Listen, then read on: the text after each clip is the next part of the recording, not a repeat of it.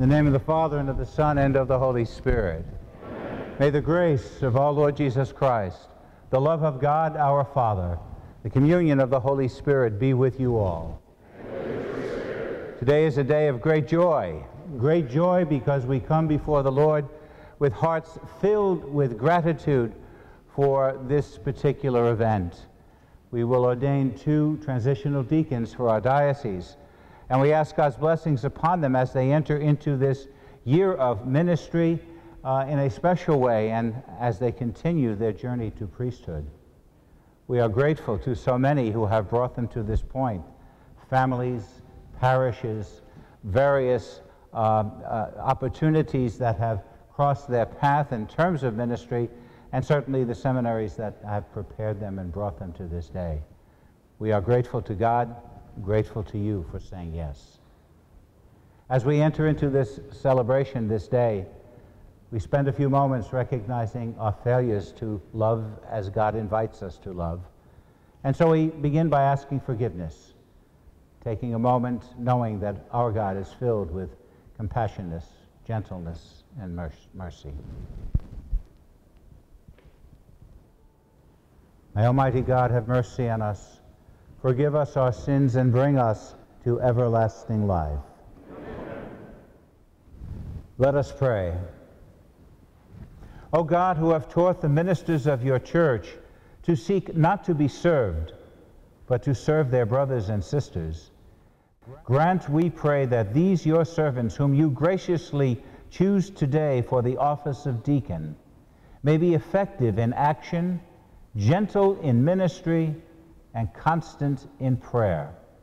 Through our Lord Jesus Christ, your Son, who lives and reigns with you in the unity of the Holy Spirit, one God, forever and ever. Amen.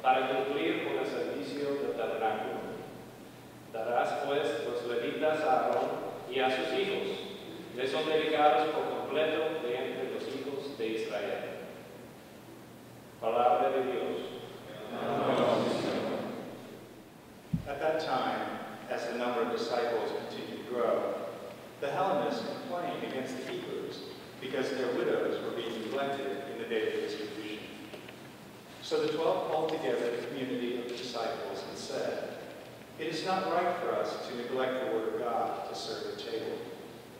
Brothers, select from among you seven reputable men, filled with the Spirit and wisdom, whom we shall appoint to this task, whereas we shall devote ourselves to prayer and to the ministry of the Word. The proposal was acceptable to the whole community, so they chose Stephen, a man filled with faith Holy Spirit. Also Philip, Prochorus, Nicanor, Timon, Parmenas, and Nicholas of Antioch, a convert to Judaism. They presented these men to the apostles, who prayed and laid hands on them. The word of God continued to spread, and the number of the disciples in Jerusalem increased greatly. Even a large group of priests were becoming obedient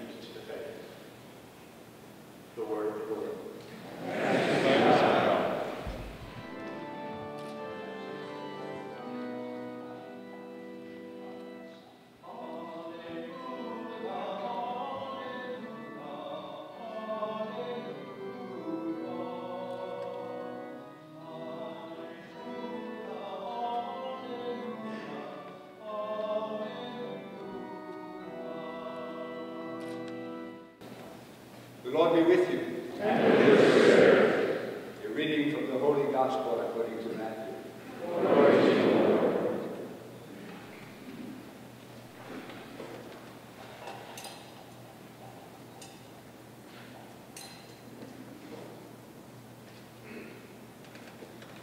Jesus went around to all the towns and villages, teaching in their synagogues, proclaiming the gospel of the kingdom, and curing every At the sight of the crowds, his heart was moved with pity for them, because they were troubled and abandoned, like sheep without shepherd. Then he said to his disciples, The harvest is abundant, the laborers are few. So ask the master of the harvest to send out laborers for his harvest. The gospel of the Lord. Let those who are to be ordained deacons come forward. Roger James Morgan. Present. Richard Charles Wilson. Present.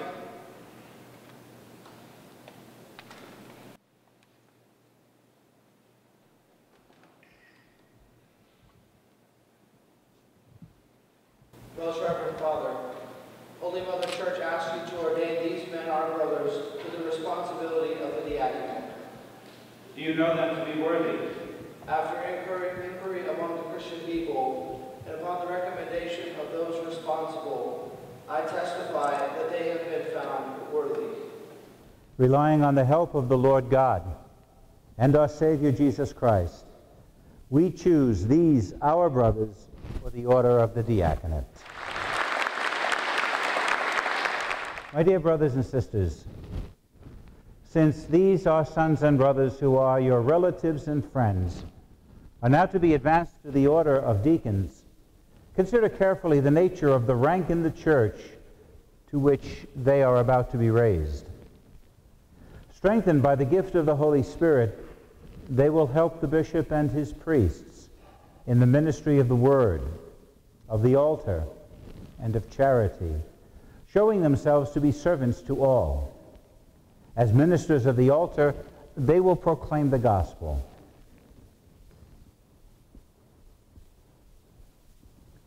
And prepare the sacrifice and distribute the Lord's body and blood to the faithful.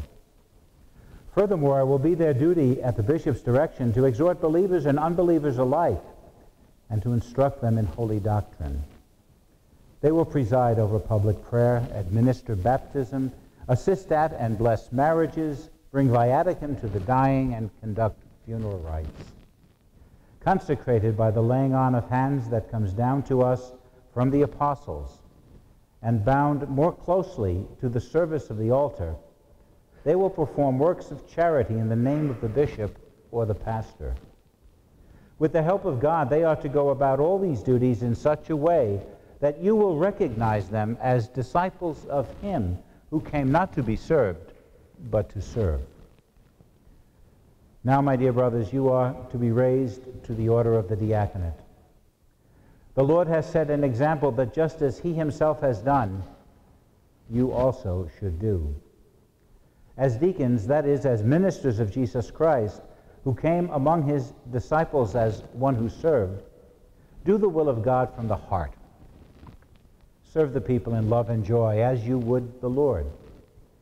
Since no one can serve two masters, look upon all defilement and avarice as serving false gods.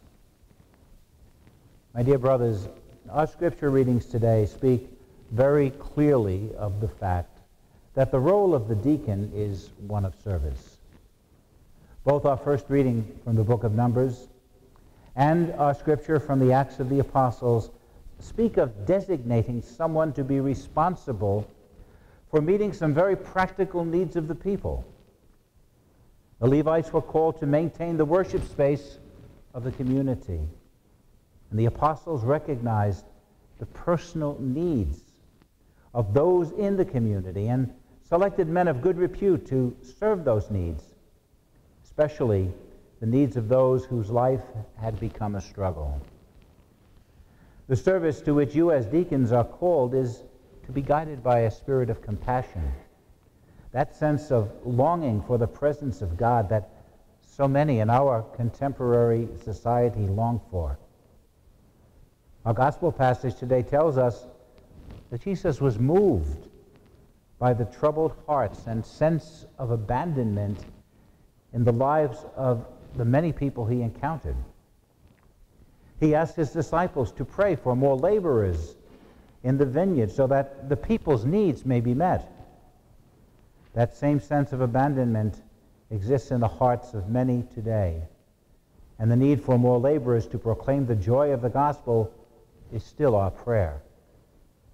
You know what lies in the hearts of so many people and how difficult the struggle of just going day by day is for many.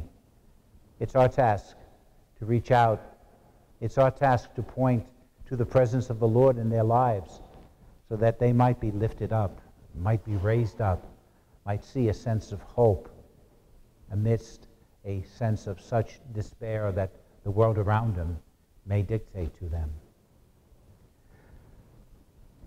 Roger, Richard, be gracious in your response to the call of the Lord.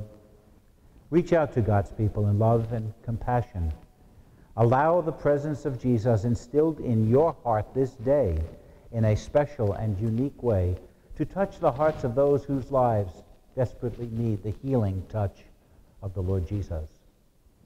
Remember, my brothers, that this ministry is not about you. Rather, it is a response that you offer to the Lord. And indeed, it must always be all about Him. Your ministry as a deacon during this next year is not simply a step toward priesthood. It is an opportunity to bring hope and love to those who are in need. Pray well, work well in collaboration with others who are devoted to, to ministry, and trust that the Lord God will continually offer you His grace so that you may respond well to the challenges you will encounter. Since by your own free choice you present yourselves for the order of the diaconate, we know that you are men of good reputation and you are called to that. You are filled with wisdom and the Holy Spirit, as were those once chosen by the apostles for the ministry of charity. You will exercise your ministry committed to the celibate state. Know that celibacy is both a sign of pastoral charity and an inspiration to it, as well as a source of spiritual fruitfulness in the world. Compelled by the sincere love of Christ the Lord and embracing this state with total dedication, you will cling to Christ more easily with an undivided heart. You will free yourselves more completely for the service of God and man and minister more effectively in the works of spiritual rebirth. Firmly rooted and grounded in faith, you must show yourselves chaste and beyond reproach before God and God's people, as is proper for the ministers of Christ and of the stewards of God's mysteries. Never allow yourselves to be turned away from the hope offered by the gospel. Now you are not only hearers of this gospel, but you are now going to become its ministers. Holding the mystery of faith with a clear conscience, express by your actions the word of God which your lips proclaim, so that the Christian people brought to life by the Spirit may be a pure offering accepted by God. Then on the last day, when you go out to meet the Lord, you will be able to hear him say, Well done, good and faithful servant. Enter into the joy of your Lord. Roger, Richard, before you enter the order of diaconate, you must declare before the people your intention to undertake this office. And so I ask, do you resolve to be consecrated for the church's ministry by the laying on of my hands and the gift of the Holy Spirit? I do. Do you resolve to discharge the office of deacon with humble charity in order to assist the priestly order and to benefit the Christian people? I do. Do you resolve to hold fast to the mystery of faith with a clear conscience, as the apostle urges, and to proclaim this faith in word and deed according to the gospel and the church's tradition? I do. You are prepared to embrace the celibate state. Do you resolve to keep forever this commitment as a sign of your dedication to Christ the Lord for the sake of the kingdom of heaven in the service of God and God's people? I do. Do you resolve to maintain and deepen the spirit of prayer that is proper to your way of life, and in keeping with this spirit and what is required of you, to celebrate faithfully the liturgy of the hours with and for the people of God, and indeed for the whole world. I do.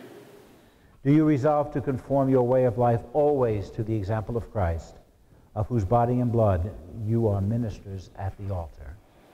I do with the help of God. Do you promise respect and obedience to me and my successors? I do. May God, who has begun the good work in you, bring it to fulfillment.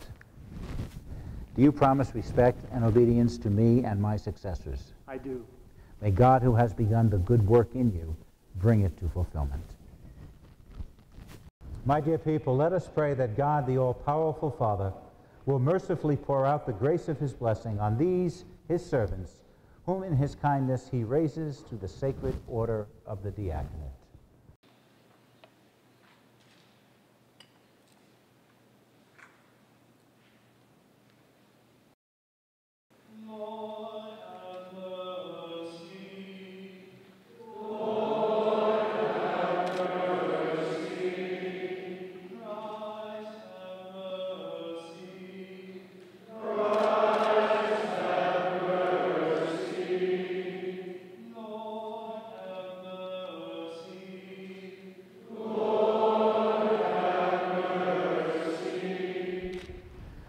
God, mercifully hear our prayers and graciously accompany with your help what we undertake by virtue of our office.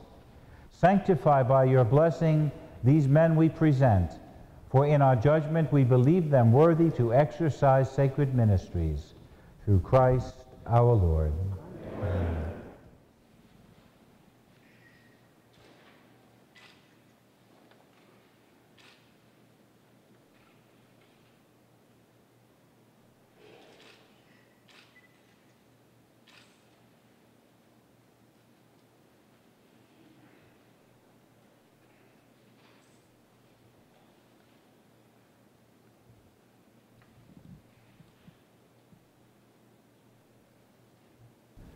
Draw near, we pray, Almighty God, giver of every grace, who apportion every order and assign every office, who remain unchanged but make all things new. In your eternal providence, you make provision for every age, as you order all creation through him who is your word, your power, and your wisdom, Jesus Christ, your Son, our Lord. You grant that the church, his body, adorned with manifold heavenly graces, drawn together in the diversity of its members, and united by a wondrous bond through the Holy Spirit, should grow and spread forth to build up a new temple. And as once you chose the sons of Levi to minister in the former tabernacle, so now you establish three ranks of ministers in their sacred offices to serve in your name. And so, in the first days of your church, through the inspiration of the Holy Spirit, your sons apostles appointed seven men of good repute to assist them in the daily ministry, that they might devote themselves more fully to prayer and preaching of the word. By prayer and the laying on of hands, they entrusted to those chosen men the ministry of serving at table. We beseech you, Lord, look with favor on these servants of yours who will minister at your holy altar, and whom we now humbly dedicate to the office of deacon. Send forth upon them, Lord, we pray, the Holy Spirit, so that they may be strengthened by the gift of your sevenfold grace for the faithful carrying out of the work of the ministry. May there abound in them every gospel virtue, unfeigned love, concern for the sick and the poor, unassuming authority, the purity of innocence, and the observance of spiritual discipline. May your commandments shine forth in their conduct so that by the example of their way of life they may inspire the imitation of your holy people. In offering the witness of a clear conscience, may they remain strong and steadfast in Christ, so that by imitating on earth your Son, who came not to be served, but to serve, they may be found worthy to reign in heaven with him, who lives and reigns with you in the unity of the Holy Spirit, one God, forever and ever. Amen. Amen. Please be seated.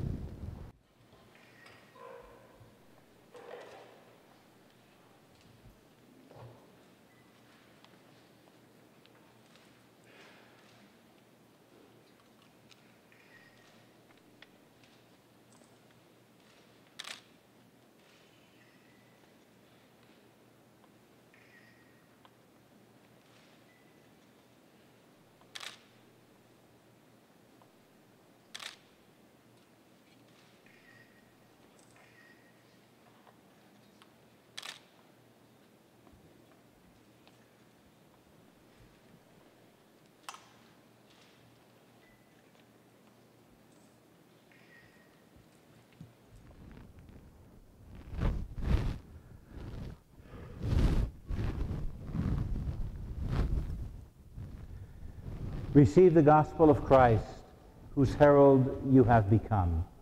Believe what you read, teach what you believe, and practice what you teach. Receive the gospel of Christ, whose herald you now are. Believe what you read, teach what you believe, and practice what you teach.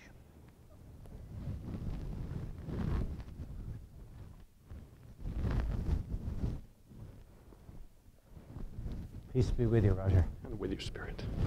Peace, Richard. God with your spirit.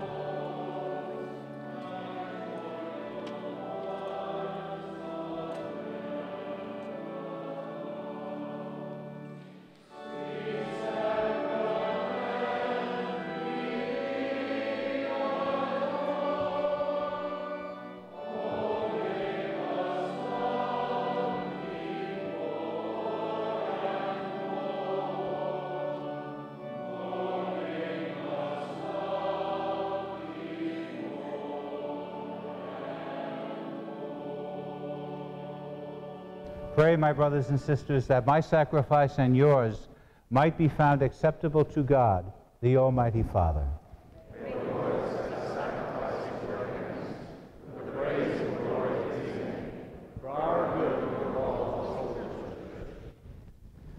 Holy Father, whose Son chose to wash the disciples' feet, and so set us an example, accept, we pray, the oblations of our service, and grant that offering ourselves as a spiritual sacrifice, we may be filled with the spirit of humility and zeal through Christ our Lord. Amen. The Lord be with you. Lift up your hearts. Let us give thanks to the Lord our God. It is right and just. It is truly right and just, our duty and our salvation, always and everywhere to give you thanks, Lord, Holy Father, Almighty and eternal God. For by the anointing of the Holy Spirit, you made your only begotten Son high priest of the new and eternal covenant, and by your wondrous design were pleased to decree that many ministries be exercised in the church. For Christ not only adorns with a royal priesthood the people he has made his own, but with a brother's kindness he also chooses men to become sharers in his sacred ministry through the laying on of hands. He chooses them to lead your holy people in charity, to nourish them with the word and strengthen them with the sacraments. As they give up their lives for you, and for the salvation of their brothers and sisters. They strive to be conformed to the image of Christ himself and offer you a constant witness of faith and love. And so, Lord, with all the angels and saints, we too give you thanks, as in exultation we acclaim.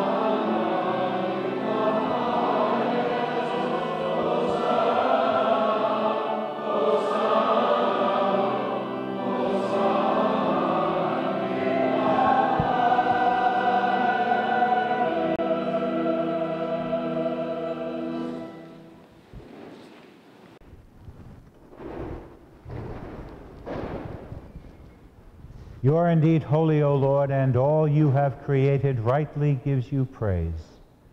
For through your Son, our Lord Jesus Christ, by the power and working of the Holy Spirit, you give life to all things and make them holy. And you never cease to gather a people to yourself, so that from the rising of the sun to its setting, a pure sacrifice may be offered to your name. Therefore, O Lord, we humbly implore you by the same Spirit, graciously make holy these gifts we have brought to you for consecration, that they may become the body and blood of your Son, our Lord Jesus Christ, at whose command we celebrate these mysteries. For on the night he was betrayed, he himself took bread, and giving you thanks, he said the blessing, broke the bread, and gave it to his disciples, saying, Take this all of you, and eat of it. For this is my body, which will be given up for you.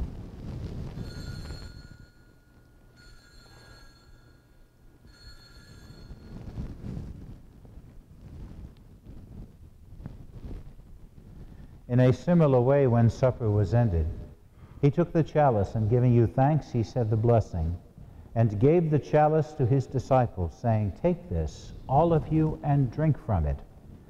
For this is the chalice of my blood, the blood of the new and eternal covenant, which will be poured out for you and for many for the forgiveness of sins. Do this in memory of me.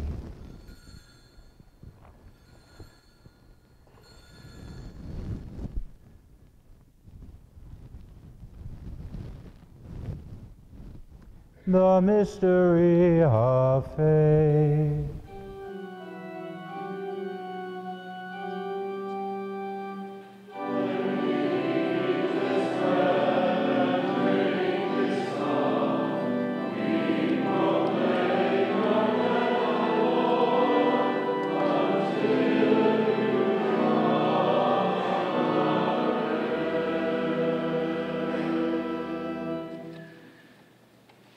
Therefore, O Lord, as we celebrate the memorial of the saving passion of your Son, his wondrous resurrection and ascension into heaven, and as we look forward to his second coming, we offer you in thanksgiving this holy and living sacrifice. Look, we pray upon the oblation of your church, and recognizing the sacrificial victim by whose death you will to reconcile us to yourself, grant that we who are nourished by the body and blood of your Son, and filled with his Holy Spirit may become one body, one spirit in Christ. May he make of us an eternal offering to you, so that we may obtain an inheritance with your elect, especially with the most blessed Virgin Mary, Mother of God, with blessed Joseph, her spouse, with your blessed apostles and glorious martyrs, and with all the saints on whose constant intercession in your presence we rely for unfailing help. May this sacrifice of our reconciliation, we pray, O Lord, and the peace and salvation of all the world. Please to confirm the faith and charity in your beautiful church on earth. Your servant Francis, our Pope, Robert, our Bishop, the order of bishops, these your servants who have been ordained today as ministers for the church, and all the clergy, and the entire people you have gained for your own. Listen graciously to the prayers of this family whom you have summoned before you. In your compassion, O merciful Father, gather to yourself all your children scattered around the world. To our departed brothers and sisters, and all who pleases you at their passing from this life, give kind attendance to your kingdom. They will hope to enjoy forever the fullness of your glory, through Christ our Lord, through whom you bestow on the world all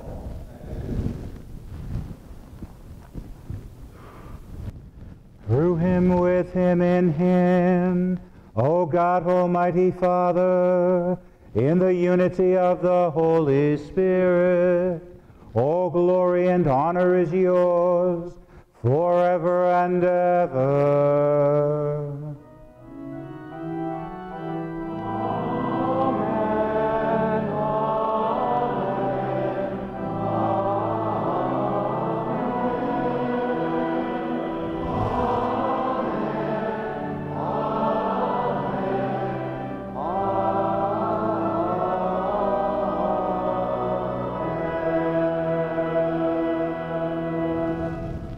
At the Savior's command, informed by divine teaching, we dare to say, Our Father, who art in heaven, hallowed be thy name.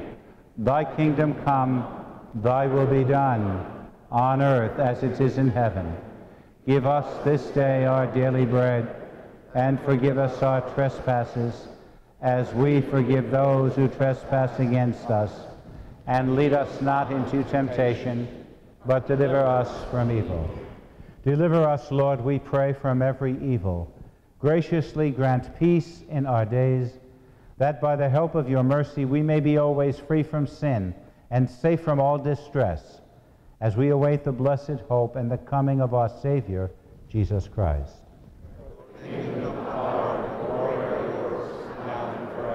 Lord Jesus Christ, who said to your apostles, Peace I leave you, my peace I give you.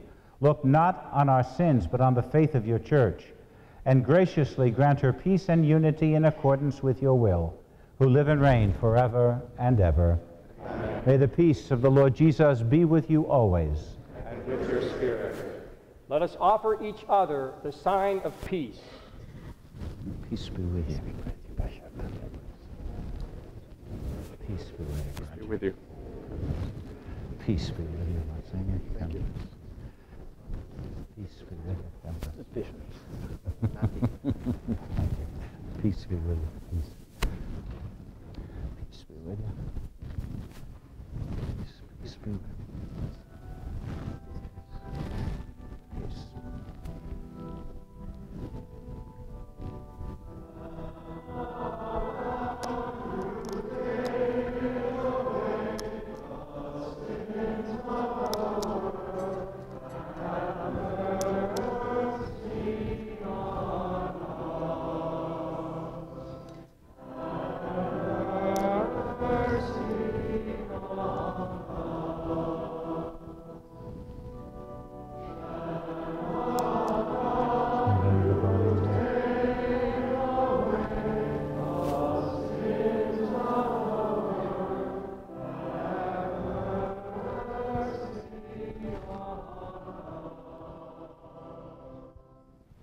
Behold the Lamb of God. Behold him who takes away the sins of the world. Blessed are those called to the supper of the Lamb. Lord, I am not worthy to enter under my roof. Only say the word, my soul shall be healed.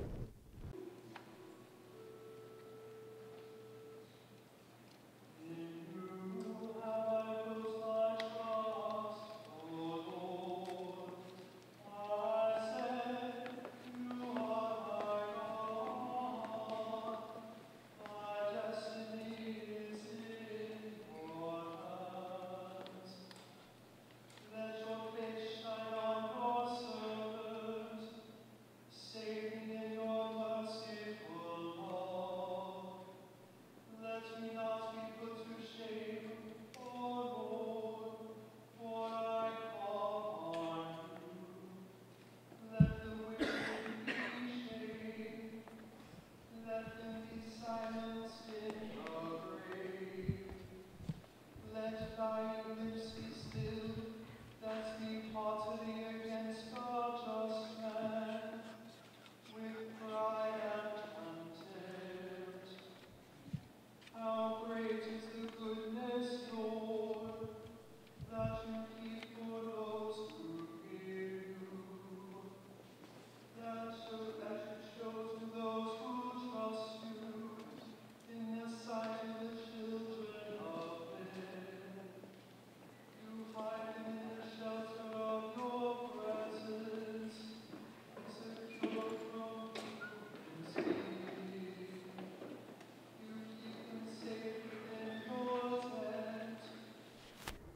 Grant, O Lord, to your servants, whom you have replenished with heavenly food and drink, that for the sake of your glory and the salvation of believers, they may be found faithful as ministers of the gospel, of the sacraments, and of charity. Through Christ our Lord. Amen. Please be seated just for a moment. I'd certainly like to offer uh, some words of thanks, first of all, to the families of, of, of Richard and Roger. Certainly, the, um, the support and affirmation of family is so important. Uh, secondly, our lives are, are really built up and supported by the lives of so many people who cross our paths. And uh, certainly, their lives and their road uh, to this day and uh, their road that continues to next year at this time is, is due in large, large factor to the so many people who, who support and affirm them. So I thank you uh, for that. Uh, to the parish of St. Mary in Greenville, uh, uh Rogers supporting parish, to the parish of St. Joseph in Anderson, um, uh, Richard's uh, supporting parish. Your fan club is here. many, many thanks. Again, uh, support and affirmation is so important if we are going to be able to minister together and build up the kingdom of God here on this earth. Many thanks uh, to uh, the Seminary of St. Mary in, in Houston, and uh, certainly John the 23rd Seminary, where you started your, your career. I'm not even sure where you started. I think I forget. At Mount St. Mary's. Okay, so everybody started someplace else but wound up together in St. Mary's in Houston. Thanks very, very much to uh, those seminaries and their faculties who have given so much for the formation of, of these men for this day. Certainly, thanks to the parish of St. Joseph here, its choir, and all who have prepared this liturgy, it is uh, certainly uh, always a pleasure to be here in this church. Uh, we've made this sort of the diaconate church. This is where we ordain deacons. Uh, next year, you'll be down in Charleston uh, with us. I ask you very sincerely, though, remember that they have another year of preparation for uh, to be open to the gift of priesthood. And uh, certainly uh, the presence of so many priests here today is, is, certainly an affirmation of their support and their affirmation of the path that these men are taking. We need your prayers, though. They need your prayers and your support during this last year of formation for priesthood. And uh, certainly we hope to see you all in, in Charleston uh, next year as we ordain them priests. I'm getting a little better. Y'all come to Charleston.